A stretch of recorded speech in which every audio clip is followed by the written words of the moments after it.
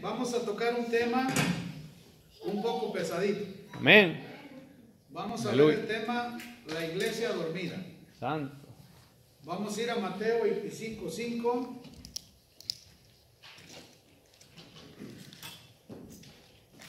Mateo 25, 5. ¿Sí les gustó ese himno antiguo, hermanos? Es muy antiguo. Es de los himnos antiguos. Mateo 25, 5. Amén. Gloria a Dios y dice, y tardándose el esposo, cabecearon todas y se durmieron. Una vez más. Y tardándose el esposo, cabecearon todas y se durmieron. Padre, en el nombre de Jesús, le damos toda gloria, Señor, toda honra, Gracias. toda adoración, Señor, toda gloria y honra le damos a usted y le pedimos humildemente hoy en esta noche nos permita con el poder de su Santo Espíritu alabarlo, glorificarlo, bendecirlo, darle gloria, darle honra y darle adoración. Reprendemos en su nombre, Señor, todo espíritu contrario que se mueve en los aires y todo lo que estorbe para que esta palabra caiga en buena tierra, sea quitado y que podamos crecer en el Espíritu y dar fruto al 30, al 60 y al 100 por uno. Se lo pedimos, Padre, Gracias. en el glorioso y poderoso nombre de su Hijo amado Cristo Jesús. Amén y amén. Muy bien, tome su asiento. Damos gracias al Señor. Aquí en la parábola de las diez vírgenes, miramos que hay cinco prudentes y cinco insensatas. Pero a la hora de dormirse se durmieron todas. No nomás se durmieron las insensatas, sino que también las sensatas se durmieron. Entonces, el peligro espiritual de dormirnos espiritualmente es para todos, Amén. sea para el prudente o sea para el insensato. Estamos hablando de dormir espiritualmente, no estamos hablando del dormir físico, porque todos tenemos que dormir de 5 a 8 horas normalmente para nuestra buena salud. Es el reloj biológico que así está diseñado. Y todos tenemos que descansar. Se dice que las grandes personalidades, los grandes hombres de éxito duermen poco, no duermen mucho. Y eso hace que sean exitosos porque le llevan ventaja día a día a las personas con dos o tres horas de sueño. Pero eso es una disciplina que cada quien tiene que formar en su vida y que lo puede hacer, porque el dormir mucho envejece. Otra vez le voy a decir, el dormir mucho envejece el cuerpo. Y el dormir poco te mantiene lúcido y en forma. No estamos hablando de desvelarte, estamos hablando de que hay que ser conscientes. Los expertos consideran que con 6, 7 horas de sueño es más que suficiente. Pero hay gente que duerme 12, 14 horas. O hay gente que se levanta eh, eh, tardísimo.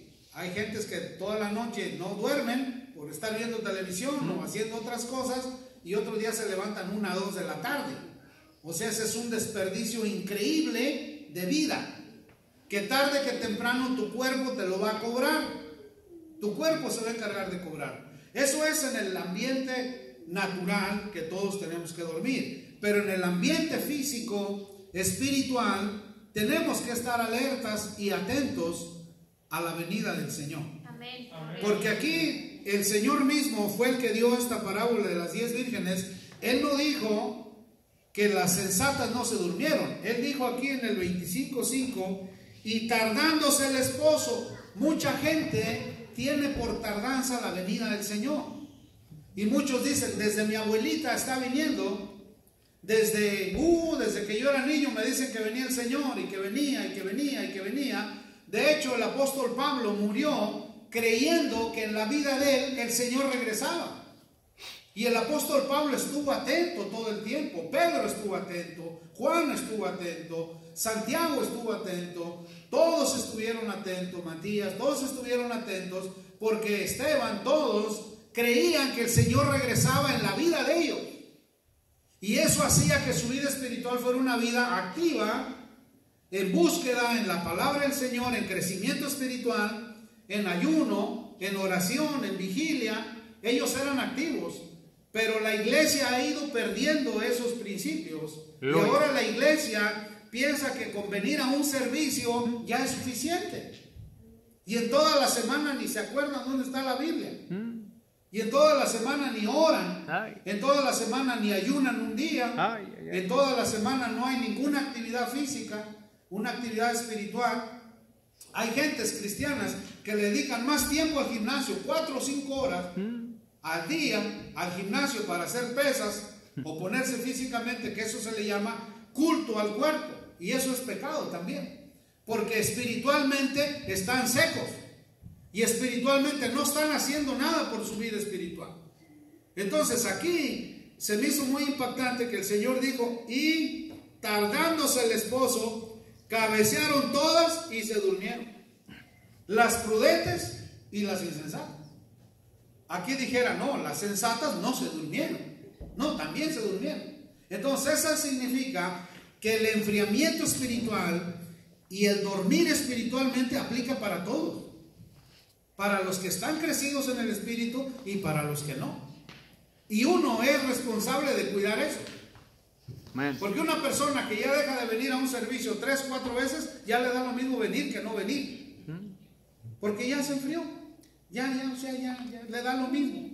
Y el Señor siempre tiene métodos de que alguien te habla o alguien va y te dice, oye, vamos a la iglesia, oye, oremos juntos, oye, leamos esto, oye, hagamos esto. Es porque el Señor te manda personas y siervos y siervas de Él para animarte a que sigas adelante en tu caminar cristiano. Aleluya. Porque es una obligación individual de cada uno de nosotros llegar hasta la presencia del Señor. Amén. Esta carrera no es del que corre, es el que llega. Amén. Y esa, y esa carrera es toda tu vida, hasta el fin de tu vida física, para ir a la presencia del Señor. Aleluya. Y el problema es que mucha gente piensa que si sirve bien duro ahorita, pues se puede echar unas buenas vaquechas. Pues no es así. O sea que aquí en el ambiente espiritual, en las cosas del Señor, lo que cuenta es la constancia.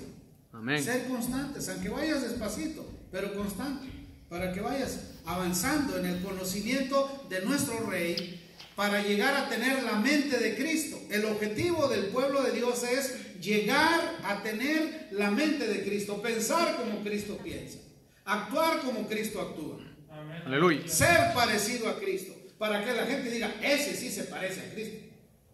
Hay gente que dice, no, ese es un vil diablo, una vil diablo. Ah, Ese no se, no se parece a Cristo. Entonces, no. Nuestro caminar tiene que ser en el Espíritu. Porque Amén. si somos del Espíritu, del Espíritu segaremos. Pero si somos de la carne, de la carne segaremos. Mire, hoy le estuve, hoy fue a visitarme Marx en la casa. Y le enseñé, dije, mira, nomás te voy a enseñar un poquito de todo lo que tengo acumulado de la iglesia de, de California. Y le saqué un altero así de, de libros que yo he hecho de información de la iglesia de California. Y agarré uno de ellos, así de grueso, de puros casos que Leti y yo tratamos de hermanos en la fe que consultaron al Señor.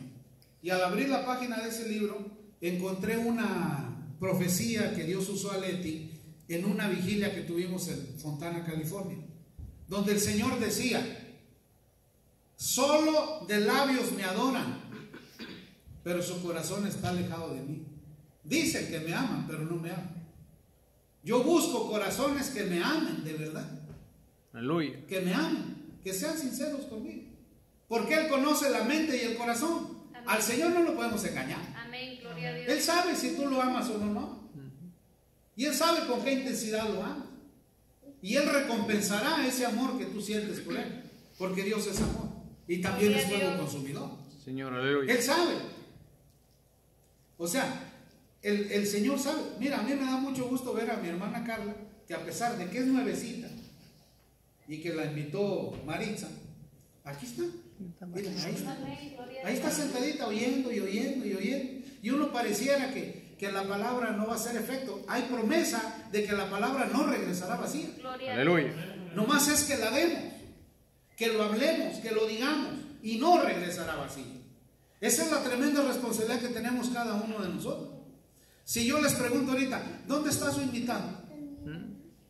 ¿Qué invitado tenemos aquí en la iglesia que usted ha traído? Eh, hermano ha traído a Toño, ¿verdad, Gabriel? Hoy se le peló Toño, no me trae. ¿Ah? ¿Qué sucedería si tú con ese fuego del Espíritu, con esa llenura del Espíritu, se la transmites a dos o tres? ¿Creceríamos en la iglesia? Amén. Sí, porque tú dirías, diría Marce, tengo tres discípulos, cuatro discípulos tengo. Ahí lo estoy discipulando todos los días, ahí le llamo todos los días, les leemos juntos, oramos juntos, ayunamos juntos y aquí están mis discípulos. ¿Qué va a decir el Señor? Buen siervo fiel, buen trabajo. ¿Qué va a decir el Señor? Entonces, por eso el Señor dice, por sus frutos los conocerás. El Señor nos conocerá por nuestras acciones y lo que hacemos para Él y la gloria de Él. ¿Sí me están entendiendo, hermanos?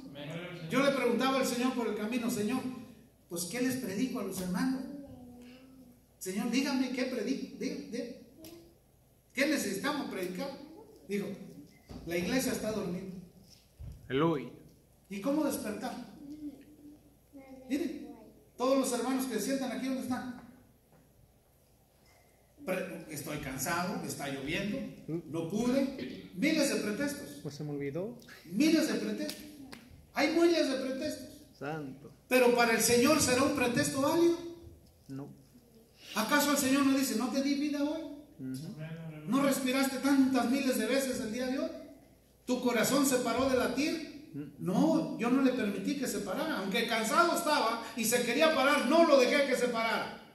Aleluya. El enemigo te quería atacar con tal y cual enfermedad y no se lo permití. Y la gente no se da cuenta. ¿Y la gente valora eso? No, no lo valora. La gente valora lo que Dios hace en su vida cuando se está muriendo. Cuando ya está enfermo. Cuando está en una situación que ya le dijeron te quedan tantos días de vida. Entonces sí quiere comerse el mundo y demostrarle a Dios cuánto lo ama. Está bien. Dios va a recibir con agrado sus últimos días de servicio que Él le ofrece. Pero ¿qué hizo con el resto de su vida? Sí, sí, me están captando. Gloria a Dios. Amén. Entonces, ¿por qué la iglesia está dormida? ¿A qué se debe? Espiritualmente, ¿a qué se debe? Falta de interés. Mira, el día que tenemos vigilia tenemos menos hermanos que los que hay hoy. Y por cierto, este fin último de mes vamos a tener vigilia. Gloria a Dios. Amén. Vamos a tener una vigilia. Ojalá que usted venga, traiga un salmo para leer, traiga un canto para cantarle a mi Señor, traiga una lectura. Es más, les traigo una enseñanza que me dio el Señor para ustedes. Las voy a dar. ¿Qué diría el Señor? Ah, ¿Se alegraría o no se alegraría el rey? Dios. Imagínense que cualquiera de nuestros hermanos venga y diga, yo traigo un canto para el Señor, es más, me compuse un canto nuevo. Fui a la escuela de música, aprendí este instrumento y vengo a cantarle a mi Señor como debe ser. Unas alabanzas para el Señor. Pero invertimos tiempo en el Señor. Mire, yo este canto, tengo, tengo oyéndolo y oyéndolo dos semanas. Isa, Isa, Isa, si la mente no quiere. Y yo, no, que tienes que, y yo te lo pongo otra vez hasta que quiera. Isa, Isa, Isa, ya cuando menos, ya lo ando tarareando. Y le doy, y le doy, y le doy hasta que la mente despierte porque está dormida. Aleluya. Ah, pero las canciones del mundo, en cuanto oye una por ahí, bien que se la sabe. Y luego, luego la pone a la memoria que sí se la sabe. Y del Señor se le borra todo el disco. ¿A qué crees que se debe eso? Se debe a que el espíritu no ha crecido lo suficiente. Y a que la carne todavía está fuerte. Que necesitamos amar más al Señor. Amén, gloria a Dios. No dormirnos en nuestros laureles. No estamos hablando de no dormir físicamente, que quede claro. Estamos hablando de tu vida espiritual. Mire, una ocasión me, levanté de la cama, como a las 3 de la mañana, y puse los salmos. Dije, a ver hasta cuándo, hasta dónde aguanto oyendo salmos.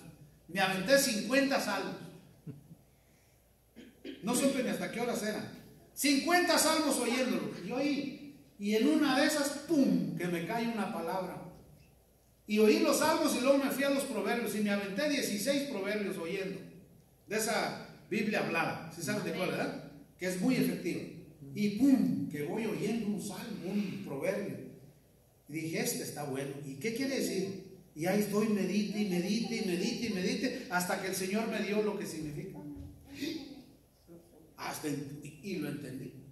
Y cuando tienes esas revelaciones y esas enseñanzas de parte del Señor, es cuando hay un crecimiento espiritual.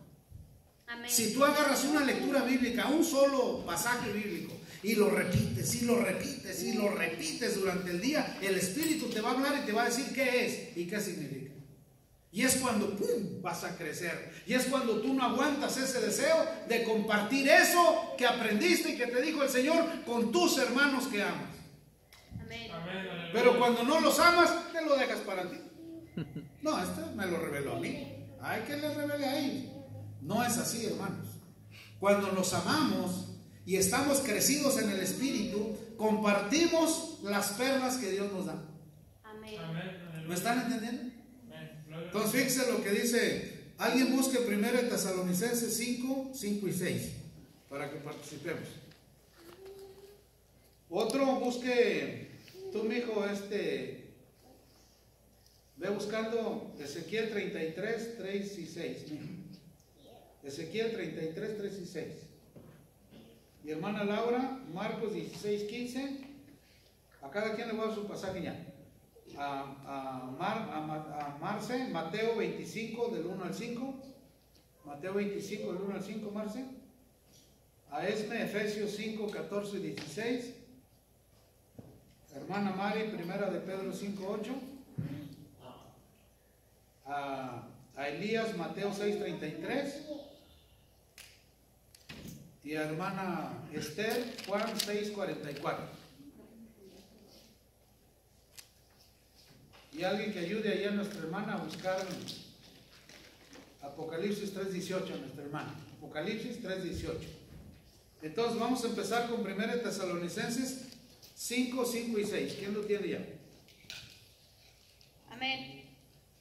A ver, a ver qué dice.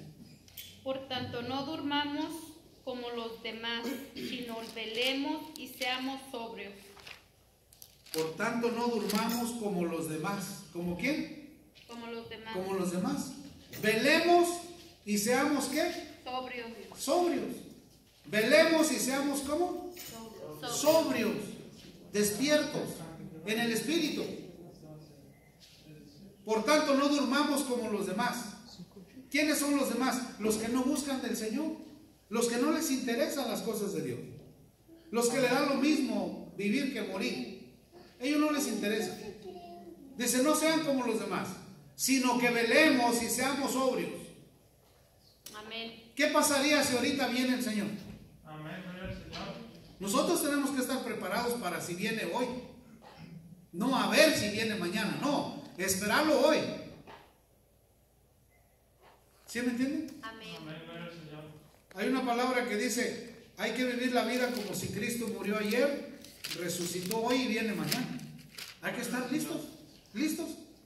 Si cuando venga nos encuentra listos, nos iremos con Él. Porque vendrán un abrir y cerrar de ojos. Los ojos se abren 18 veces por segundo. O sea, se abren los ojos, los ojos trabajan 18 veces por minuto, perdón. Se abren y se cierran. El músculo que más trabaja en el cuerpo humano son los párpados. Y son a los que menos caso le hacen. Por eso cuando das, eh, se cierran los párpados. Y das, eh, ¿eh? Porque los párpados ya no se aguantan. Hay una enfermedad de párpados. Que hay un músculo que se daña en los párpados y los párpados se caen. Vayas tú manejando o andes donde ¡pum! se te cierra y ya no ves nada. Entonces, nunca bendecimos nuestros párpados. ¿Cuándo fue la última vez que usted bendijo sus párpados? Y es el músculo que más trabaja. Pues dice la Biblia que Cristo vendrá en un abrir y cerrar de ojos. Entonces tenemos que estarlo esperando. No hay que dormir como los demás. Hay que estar atentos al Señor. Si viene en nuestra vida que vivimos, gloria a Dios. Y si no, nosotros cumplimos con esperarlo. ¿Eh? Muy bien. ¿A quién le tocó Ezequiel, Ezequiel 33, 3, 6? A ti, mijo. Ezequiel 33. Hey, del 3 al 6. Léelo con voz fuerte. Y él viene a venir la espada sobre la tierra, y tocaré trompeta y avisaré al pueblo. Cualquiera que oyere el sonido de la trompeta no se apercibiere, y veniendo la espada lo hiriere, su sangre será sobre su cabeza. Imagínense, somos atalayas. ¿Sabe qué es un atalaya? Un atalaya es el que le daban el trabajo de estar arriba de los muros de la ciudad. Y él no tenía permiso de dormir en la atalaya. De día podía dormir todo lo que quisiera, pero en la noche no. Y el atalaya que le tocaba de día no podía dejar su puesto. Él tenía que estar vigilando ahí a ver si no venía un enemigo. Y si miraba polvo de caballos o algo a lo lejos, tocaba su trompeta para que los porteros cerraran la puerta. Y el peligro no entrara a la ciudad. Nosotros somos atalayas. Por cierto, les aviso, están planeando soltar el virus X en el mes de noviembre, que es 8 a 10 veces mucho más peligroso que el coronavirus. Y cuando un atalaya anuncia algo, ah, ese está loco. No, no, no. Y el atalaya siempre anuncia lo que viene en peligro. El atalaya anuncia que Cristo viene. El predicador siempre está anunciando que Cristo va a venir. Y la gente que dice, desde que está viniendo. Y. ¿Y qué va a pasar? Entonces, aquí el profeta Ezequiel le dice al pueblo de Israel, fíjese lo que le dice, y él viene venir la espada sobre la tierra y tocare trompeta y avisará al pueblo. Cualquiera que oyere el sonido de la trompeta y no se apercibiere, y viniendo la espada lo hiriere, su sangre será sobre su cabeza. El sonido de la trompeta oyó y no se apercibió, su sangre será sobre él. Mas el que se apercibiere, librará su vida. ¿Librará qué? El que, el que se apreviniere, librará su vida. Y dice el 6. Pero si el atalaya viere venir la espada y no tocare la trompeta, y el pueblo no se apercibiere, y viniendo la espada hiriere de él a alguno, este fue tomado por causa de su pecado, pero demandaré su sangre de mano del atalaya. O sea que si nosotros no le avisamos a nuestra familia de sangre que busquen al Señor y llega el desastre y se mueren y no conocen de Cristo, esa sangre de ellos nos la cobran a nosotros. ¿Sí se está dando cuenta lo que significa? Yo le hablo a mi familia. Pero lo, lo toman no. Lo toman a juego. Cuando nos reunimos con mis primos, a fuerzas quieren que yo tome con ellos. Y ándale, y échate una cuba, al cabo los hermanos, hermanitos de la iglesia no te ven. Ándale, y ándale. Digo, sí, pero Dios sí me ve. ¿Sí me están entendiendo? no?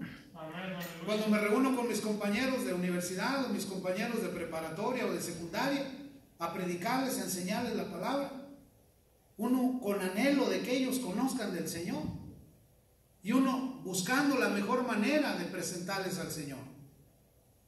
Pero si después de que tú les dices y no aceptan, tú ya fuiste a Atalaya y avisaste del peligro que viene. Esa sangre de ellos ya no será cobrada para ti ni vendrá sobre ti. Vendrá sobre sus cabezas de ellos por no haber obedecido al Señor. Amén. Aleluya. ¿Sí me están entendiendo? Por eso es que nosotros tenemos la obligación, hermano, arrepiéntase, busque del Señor. Mire, permítame leerle un texto aquí, mire, mire, acá y allá. ¿eh? Y es cuando nosotros esparcimos la buena semilla del Evangelio. Pero si no le hablamos a nadie, si nos, ¿cuántos mensajes hemos escuchado? no? Mensaje tras mensaje y mensaje tras mensaje. ¿eh? Mire, yo en California prediqué más de mil mensajes. Y los tengo grabados. Un mensajal de mensajales y mensajales. Hermanos que estaban en la fe en Cristo Jesús, ahora andan de cantina en cantina. De baile en baile. ¿Dónde quedaron los mensajes? ¿Sabe qué tengo que hacer? O- Cuando vaya a California, ir a buscarlos y decirles, eso te enseñé. Eso te prediqué. Ya no es mi responsabilidad. ¿De quién es la responsabilidad? De ellos. Ellos le darán cuentas al Señor. Su sangre de ellos, si se pierden, es por culpa de ellos. Y bien que lo saben. Bien que saben. Amén. Aleluya. Y les da vergüenza cuando yo veo sus videos. O cuando les pongo un comentario y ya te vi. Les da pena. Porque ellos bien saben. ¿Y cambian? No, no cambian. Se dejaron atrapar por los placeres del mundo. Y se olvidaron de Jesús y se fueron al mundo. Por eso una atalaya avisa del peligro. Hey, cuidado, viene un carro, cuidado. Pero si no le avisas y esa persona muere, esa sangre será reclamada para, para uno. Las mujeres que están casadas tienen que hablar con sus maridos, con sus hijos, que cambien, que se arrepientan, que le sirvan al Señor. Porque si no, esa sangre se la van a reclamar a usted. Muy bien. Eh, Marcos 16, 15, ¿a quién le tocó? Sí. Y les dijo, id por todo el mundo y predicad el evangelio a toda criatura. Hoy, ir por todo el mundo y predicar el evangelio a quién? A toda criatura, sin excepción de persona. Cristo te ama, Cristo te ama, Cristo te ama. Mucha gente, loco estás tú, no, ¿qué, qué? No le hace. Ir por todo el mundo y predicar el evangelio a toda criatura. Entonces, cuando el Señor te ve que andas predicando aquí, predicando allá, ¿se agradará o no se agradará? Amén. se agrada. ¿Te bendecirá o no te bendecirá? ¿Te bendice? Por supuesto que sí. ¿A quién le tocó Mateo 25, del 1 al 5? Entonces el, el reino de los cielos será, será semejante a diez vírgenes que tomando sus lámparas salieron a recibir al esposo. Sí, Cinco de ellas eran prudentes y cinco insensatas. sí. Las insensatas, tomando sus lámparas, no tomaron consigo aceite, Ajá, mas las prudentes tomaron aceite en sus vasijas. sí. y, jun- y juntamente con sus lámparas y tardándose el esposo caben, Cabeza. Cabecear. cabezaron todas y se durmieron. Y se durmieron. Ok, hasta ahí. Ya conocemos la parábola de las cinco vírgenes prudentes y las cinco insensatas. Entonces, que no nos pase eso. Todos tenemos la posibilidad de equivocarnos y espiritualmente dormirnos, pero tenemos que estar atentos. Efesios, Efesios 5, 14 y 16, ¿a quién le tocó?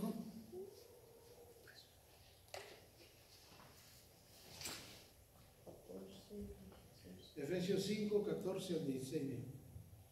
Por lo cual dice, despiértate tú que duermes y levántate de los muertos y te alumbrará Cristo. Mirad pues cuán diligencia como andéis, no como necios, sino como sabios, aprovechando bien el tiempo, porque los días son malos. Gracias. Fíjense lo que el apóstol Pablo le dice a los efesios. Dice, por lo cual dice, despiértate tú que duermes, al que está dormido espiritualmente. Le dice, tú que duermes, despiértate. Hey, wake up, despiértate. Y levántate de los muertos. El que se duerme espiritualmente, para el Señor muerto está. Sí, Señor. Porque no le interesa. Si no se despierta de su vida que lleva, pongamos un ejemplo. Un borrachito que toda su vida está de borracho y borracho y borracho. ¿Cómo va a acabar su vida? Borracho, Borracho. ¿De qué va a morir? borracho. De borracho. ¿Irá a ser salvo? No, Si no se arrepiente.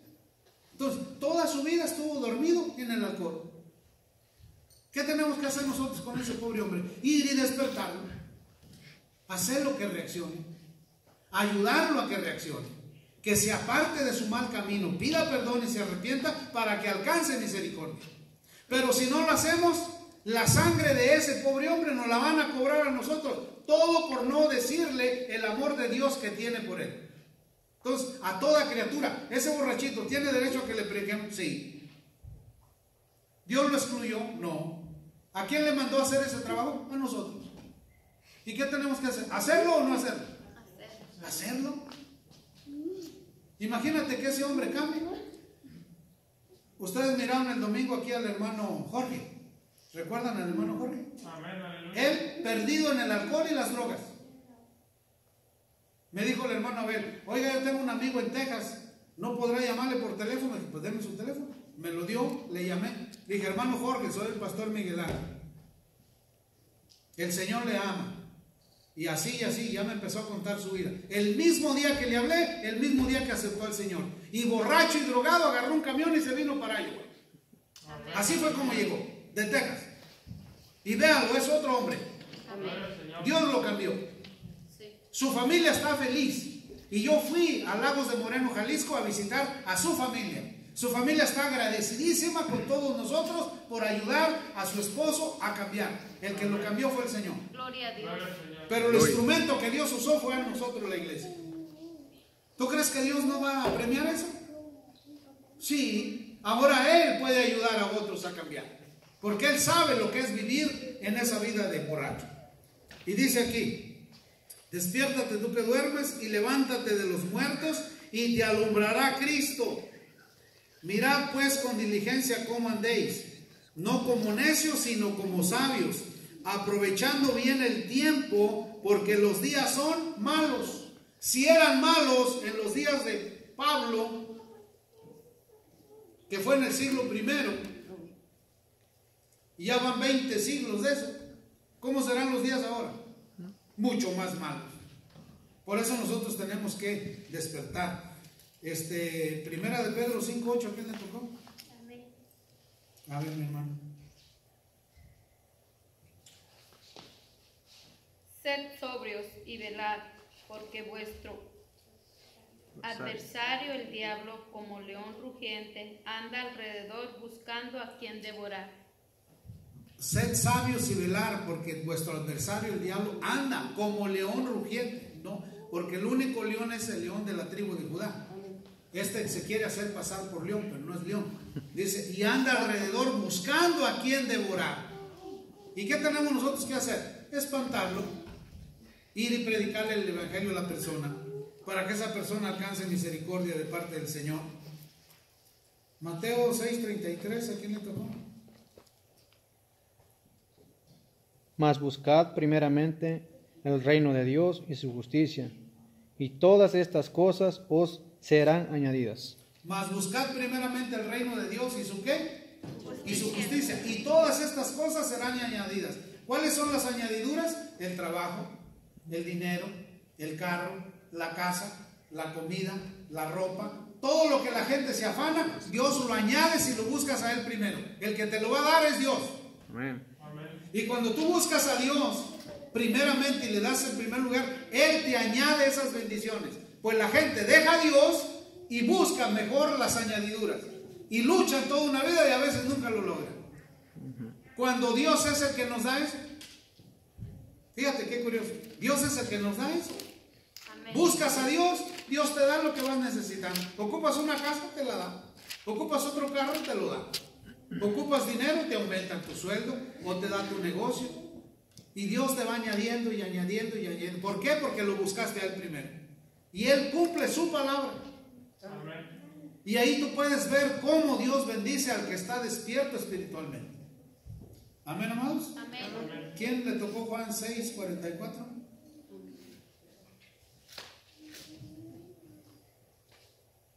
Dice, ninguno puede venir a mí si el Padre que me envió no le trajere, y yo le resucitaré en el día postrero. Ninguno puede venir a mí sin- sino hasta que el Padre se lo permite. O sea, en los que venimos al Señor, ya estamos predestinados a venir al Señor. Dios Padre ya lo tenía planeado. ¿Y por qué no servir al Señor con gusto, hermano? ¿Por qué no hacerlo con alegría? Si es un privilegio, si es un gusto, es un, es un enorme privilegio que estemos sirviendo en las cosas de Dios. Señor, aleluya.